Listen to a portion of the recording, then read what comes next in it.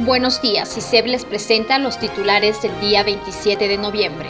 En lo político, a modo sabatina pero ahora con público reducido. Faltaban pocos minutos para las 12 horas 30 del sábado pasado. El expresidente Rafael Correa se asomó al balcón de la central de Alianza País, Guayas. Hacía poco sol como pocos también eran los simpatizantes que lo aplaudían abajo entre 30 y 40 personas con carteles y banderas. Nada comparado con sus salidas al balcón de Carondelet cuando eran cientos y era el presidente. Su saludo duró menos de un minuto. Fuente Diario El Universo. Correa se reunirá con Moreno solo si beneficia a Ecuador.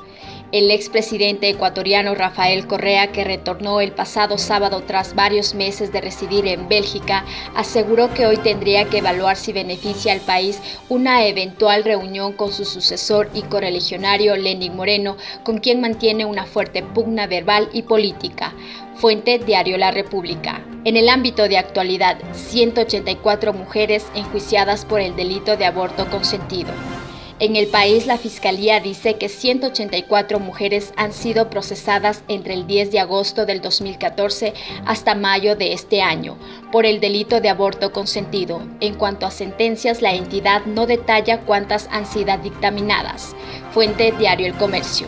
En el ámbito de economía, la tributación sobre el décimo tercer sueldo se elimina en ley. En tres semanas de análisis en Asamblea Nacional, la primera ley económica del gobierno de Lenin Moreno llega a su segundo debate previsto para estos días con el más del 65% de modificaciones en su contenido original. Fuente Diario El Telégrafo. En el ámbito deportivo, goleada torera en el Monumental. En un partido donde Barcelona jugó de menos a más, ayer goleó a Deportivo Cuenca en el Estadio Monumental por el Campeonato Nacional de Fútbol.